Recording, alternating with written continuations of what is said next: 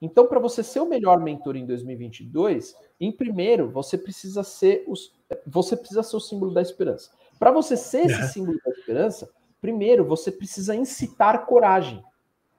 Então você precisa desafiar os seus alunos, você precisa convidar eles a se autodesafiarem, para você poder incitar coragem. Só que tem um outro ponto. Para você poder incitar coragem, você precisa viver a coragem. Uhum. Então você precisa praticar a autodesafio. Se autodesafiar. E por que que funciona?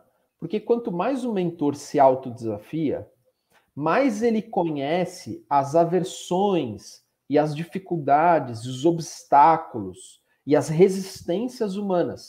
Por quê? Porque uhum. ele está se autodesafiando e ele está se conhecendo. Ele está vendo Sim. onde a mente dele quer resistir, onde a mente dele se sente inseguro, onde a mente dele se sente incapaz.